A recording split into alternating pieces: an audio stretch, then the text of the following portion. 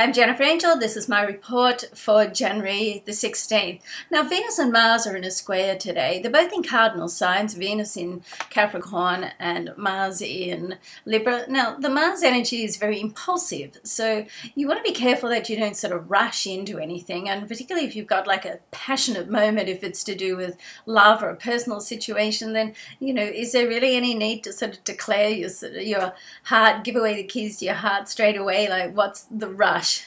Um, uh, you know, just hold back, see how you feel, take things easy, savor the moment. And, you know, you don't have to do everything in the one moment. Life, after all, is about the journey.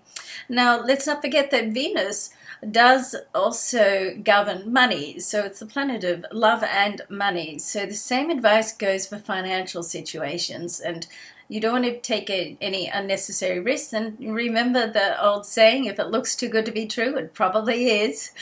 Okay, so stay clear of risky business. All right, so that's my advice for you for today. Have a great day, everybody. I'm Jennifer Angel, and I look forward to seeing you tomorrow. Bye for now.